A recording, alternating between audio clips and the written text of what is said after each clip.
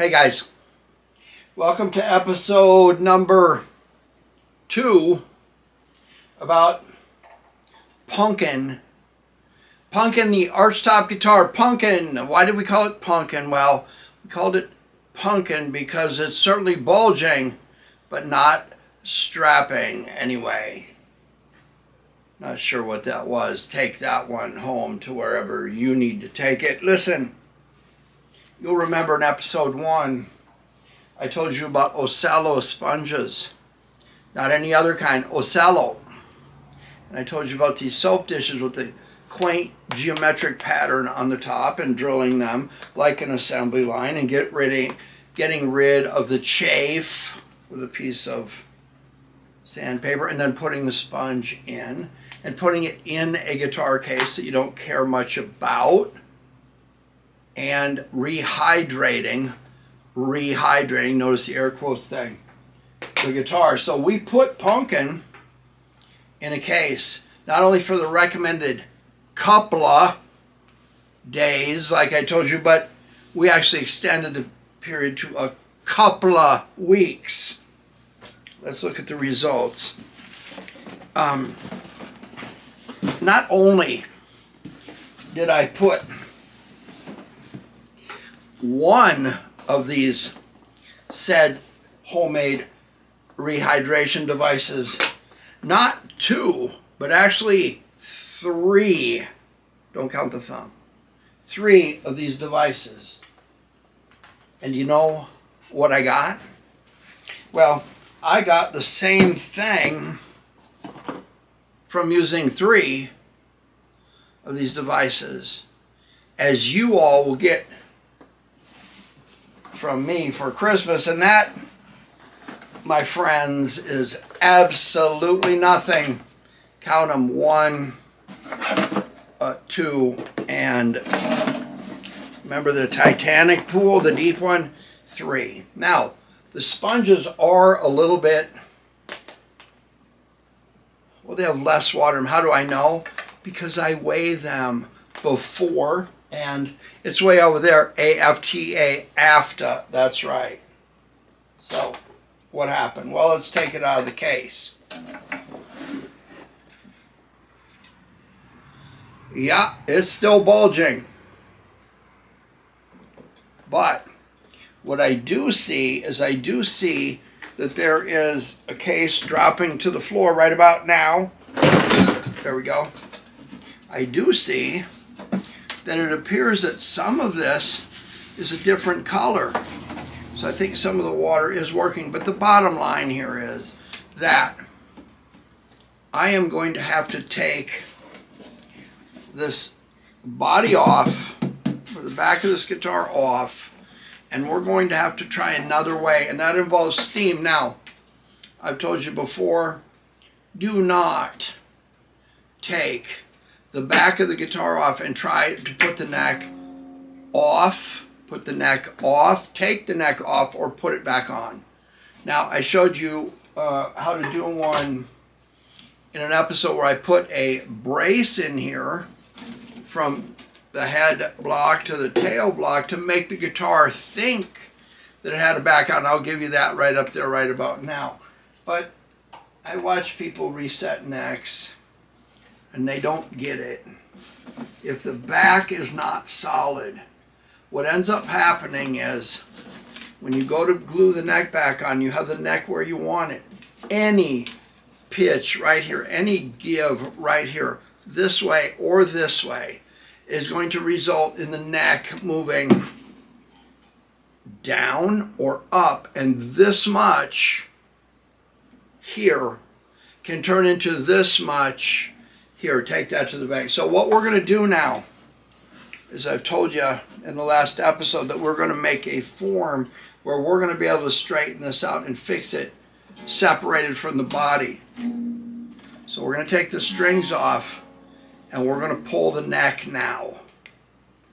I am going to film simultaneously or concurrently, like most prison sentences are nowadays. You know what I'm talking about. Anyway, we are going to solve a little dilemma about, we're going to call this episode Coffee, Tea, or Me. That'll be up there. If you don't see it up there, it hasn't been made yet. You just be patient. But in the world of DIY steamers, there is a difference, and I'm going to show you what that is. So, let me get set up. We are going to steam the neck off. I will put this under the autopsy cam and kind of run you through this. I have done numeri, numeri, plural, not marriages, just episodes, pluri, episodes of pulling necks and neck jigs, and, and, and you'll go up there and see that playlist and see the jig that um, I made. And uh, you'll make one too. Okay, I got a patent on chick flick teal though. Watch yourself. So, let's quit chattering. I'll quit chattering if you quit listening, and let's go to the bench and get the neck off this thing, shall we? Okay, if you missed the first episode, this is a Harmony H1214 from 1962. The steel reinforced neck, the next best thing to a truss rod or nothing. Let's get this in here and let's meet the cast of this evening's performance. First we have the Hobo Hot Plate. Next, its companion, Granny's Iron. We put Granny's Iron on the fretboard up here to heat up a fret because we're going to have to remove a fret. We have a drill and a couple other things, a fret puller, and we have a big decision to make. Are we going to use the little teapot that's short but certainly not stout, or are we going to use the show great respect for Mr. Coffee steamer. So that's what we're going to do. We got the uh, surgery scrap apparatus table set up right over there where you can't see it. It's beautiful. Um, but we're going to take this thing right here. Ooh, ah, do not covet this. Look at that. And we're going to take the strings off and we're going to put this bridge and some other things, parts we're going to pull off into the canvas bag so we don't lose parts. When you lose parts off of a guitar like Pumpkin, you take the value from $8 down to 4 So just remember that. Be right back. All right, there we go. Strings are there. We'll put a piece of tape on this side because that's where the bass side is. So always do that. We'll have blue for base and then put it in the bag. And yeah, there's some fancy strings on here for uh,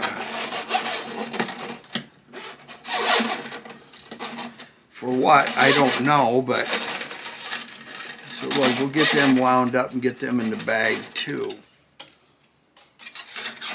Now, if I were at a rodeo, I'll be throwing my hands up right now and I'd be the winner.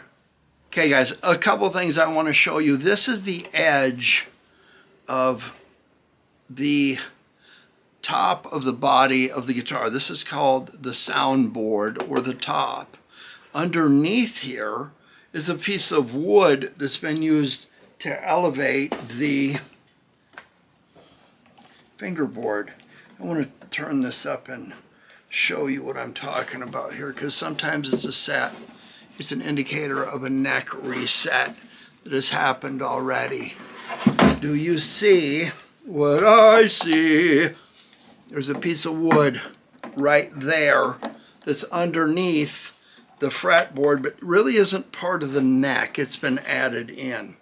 So, what happens here is there is a pocket that's V-shaped that is right in this area. Now, it's not at the edge here, and it's certainly not typically back into here so much. Hopefully, it is underneath one of these frets.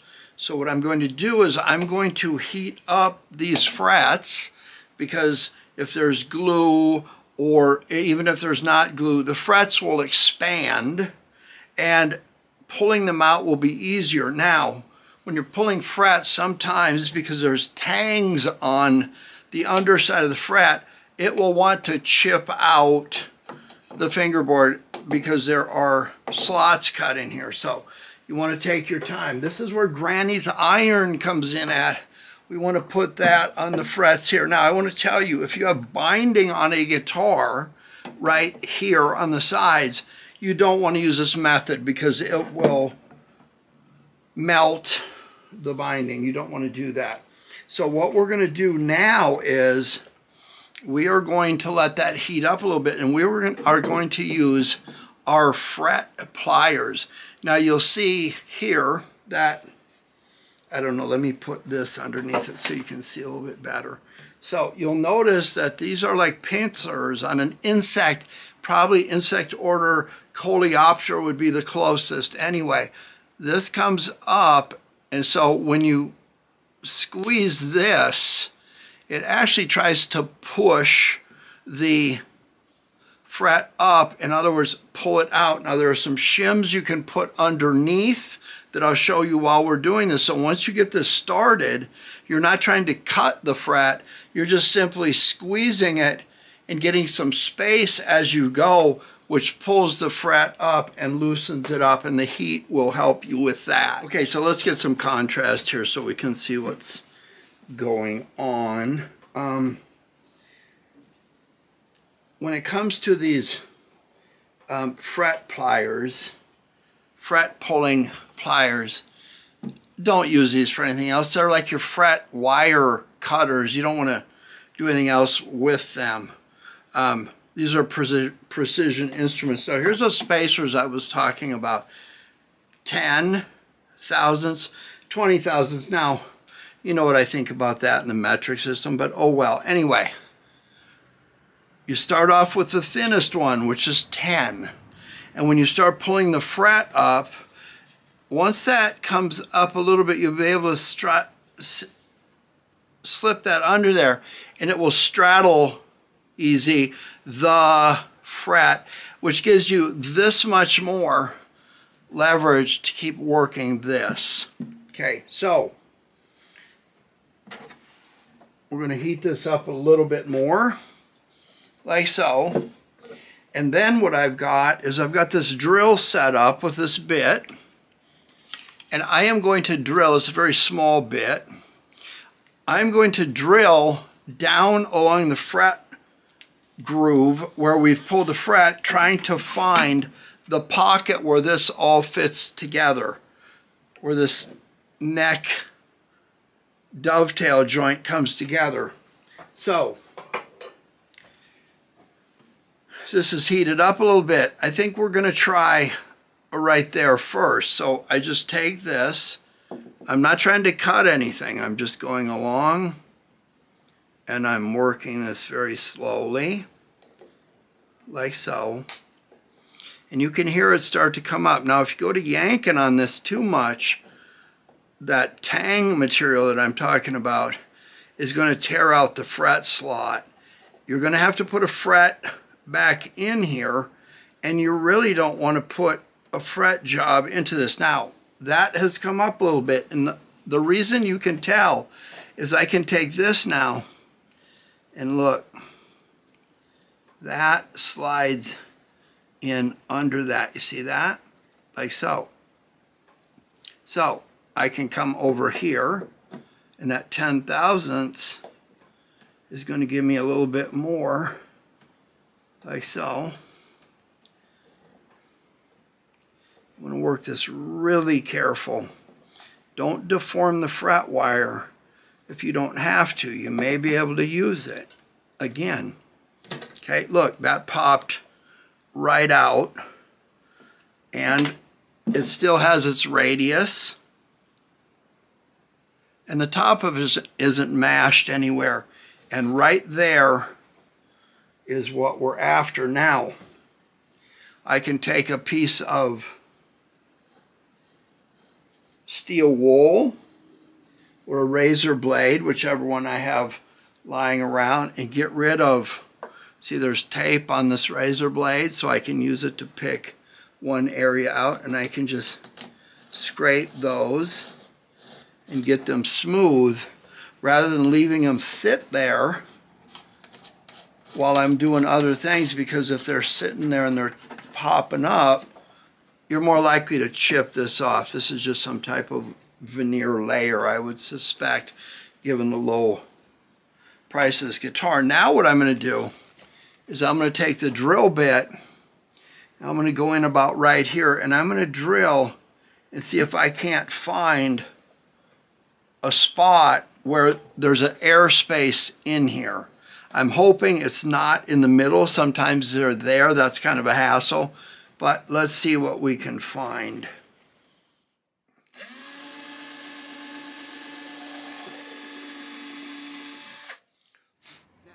Okay, so I've heated this up for a minute or two and watch what happens.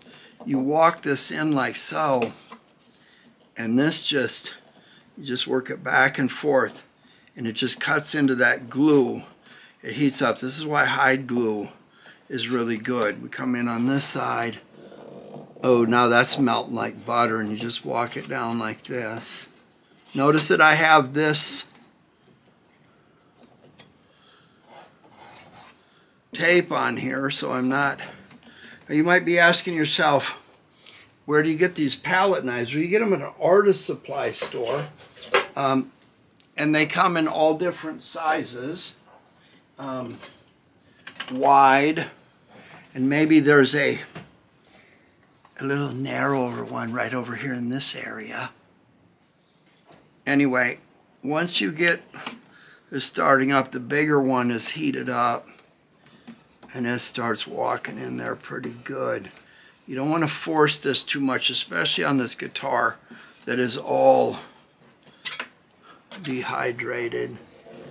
But once, once you've done a few of these, it almost feels like I'm hitting something right there. We'll know here in a minute. It's coming out of both holes here. That means everything is starting to loosen up. I would have rather had it back a fret or two, but that's okay. Now we are going to take my neck pulling jig, which I showed you how to make one in another episode, cork lined paper, etc. I'll give you a link to that right up there right about now. Let me get this thing put on this guitar now and see what happens. So first thing, the bottom has a bolt with a handle on it that will push up against the heel of the neck. So we want to set that down. We want to put this, let's flip this around and see if we can get this where you can see it, like so. Before we get going here, there are thread protectors, wing nuts, bolts, and tubing to keep the side of the guitar nice. So we're going to wind these down because it's pretty thick arch top. We want to remember it is an arch top and the top of this thing is flat. You see that? So we're going to be tensioning up here and not so much back here because if you push down on this whole thing flat, you're going to end up crushing the top. So we'll actually put a rag back here to buffer this. But now it's time to put this up here and we want to make sure that that bolt is sitting right under the heel of the guitar like so and then we just simply put the top on and put these on and start applying gentle pressure relentlessly. Let me get this on here. Okay, let's see. There we go. We have the T-handle right underneath the heel. And we are just going to crank the steam back up and let this thing cook a little bit. Since the holes are in there, we can move it around a little bit. And we start to see things loosening up. Yeah, it's steaming now. See there? Again, guys, this steam is terrible. told a story about how I almost got burned in a drilling rig. Okay, it's starting to come out the side of the heel of the neck. You're going to be nice and careful with this.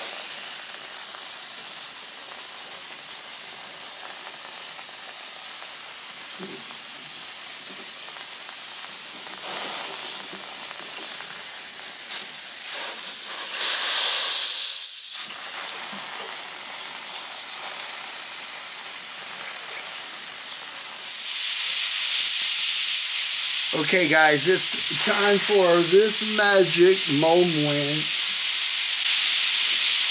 Let's kill the steam here. Get this thing out of here.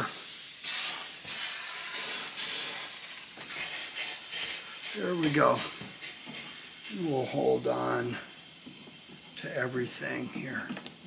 There we go. Oh, you don't see that very often. Yup. It was right at the edge right here.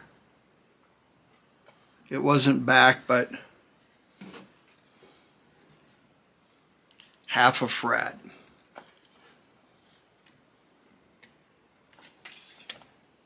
It would have been right where that fret marker is. That's okay. We're going to drill these out. We're going to make sure that this thing is stable. This has started to swell up a little bit, but we're going to make sure that these are all filled with rod after everything is, or doweling.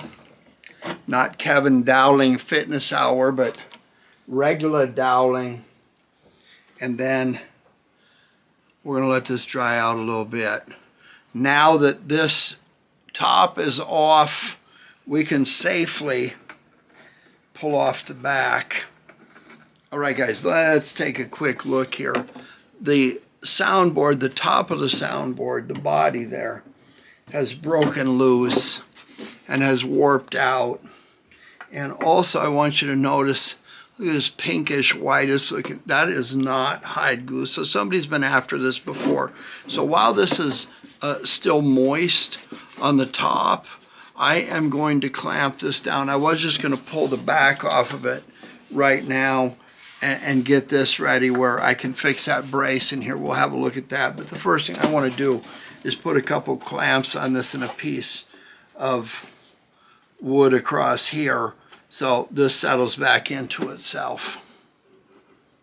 Okay guys, I think this is a good place to end uh, this section of this project. We've got the um, soundboard or the top is laying flat on top of the front block, which is good. The neck came off nice and clean, but that pinky whitish glue there just tells me something that somebody has been here before. Um, I don't know how many or or who, so I guess this guitar we might as well call it a divorcee. Now, one of the things that you want to know uh, when you go into this stuff, when you see these $200 guitars and $100 guitars, you just saw what can happen. What was really going on there was the top had cut loose, the soundboard had cut loose from the head block, so injecting steam in there was giving us blowout in the inside of the body and all that kind of thing. And so, um, two big takeaways. If you're dealing with a Harmony H1214, your back of pocket where you need to inject the steam is about that far, and it's actually just before the 15th fret. Three quarters away from the 14th fret to the 15th fret. That's not a place you want to drill into the fingerboard. So there's going to be a lot of work there to fix that and make it, once you inject steam into a fingerboard, you need to leave it sit. You don't want that many holes. So we, we kind of just made Swiss cheese out of that one. Next thing is if you don't have the right tools, I mean, if you go buy one of these, they're almost $200. I've shown you how to make one. You need a couple pieces of board. You need a bolt with a T-handle. Um, you got to be able to cut with a jigsaw, and you need some cork paper that you can find to line shelves with in a kitchen. But you need some some stuff like that. And then you got to decide whether you want to use the old teapot or or you want to come in with the uh, the Mr. Coffee thing here because you got to be able to steam. Once you're done, oh, don't forget Granny's iron. Once you're done, you got to know that when you buy one of these guitars and you throw the hundred bucks out the window, you might be just going, you know what, I'm going to try this, I'm going to build this stuff and I'm going to see what I can do. But don't expect the result that you're going to put a, a, a guitar out there that's worth five or six hundred dollars because anybody that knows these things is going to look at and say it probably wasn't worth that to begin with. They were cheap guitars to begin with, and after we've messed with them, um, yeah. So what you saw tonight, nothing new. I've been where someone was. Somebody gave up on this project after they give it their best shot and was smart enough to get out before they got into all this stuff. I'm just not that smart. So what we're going to do is we're going to wait for this to stabilize itself here, up here, and then I'm going to pop the back off. We can expect similar problems from the glue being the way it is and whatever was used.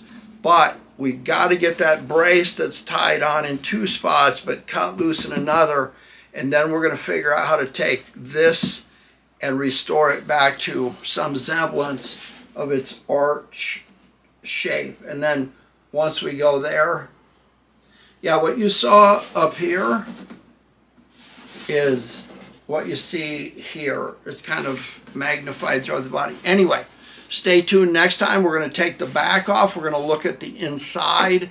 We're going to brace it up. We're going to do whatever we need to do.